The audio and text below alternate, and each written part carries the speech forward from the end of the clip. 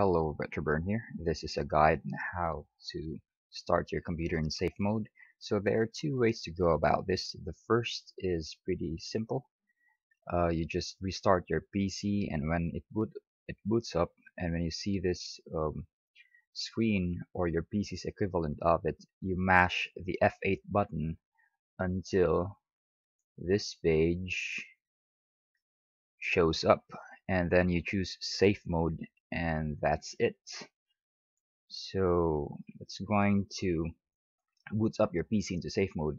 You will know that you're in safe mode because in the corners of your screen you'll see uh, these uh, safe mode lines.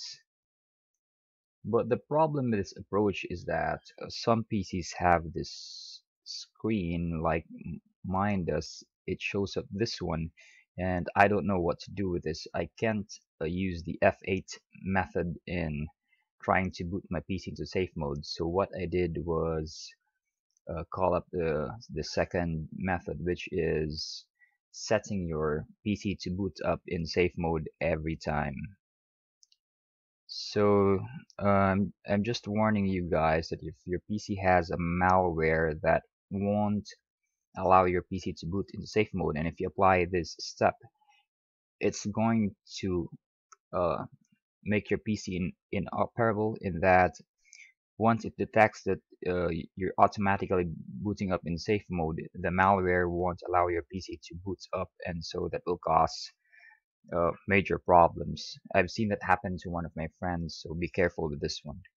But anyway to start in safe mode using the second method you just call up the uh, start screen just press the window button here or press the window button on your keyboard. This comes up and then you type msconfig and this window pops up and you go to the boot tab.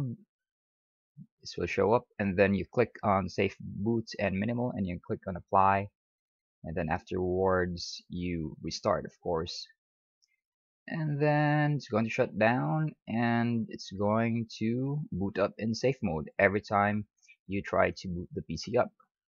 So once you're in safe mode uh, you can do whatever you want.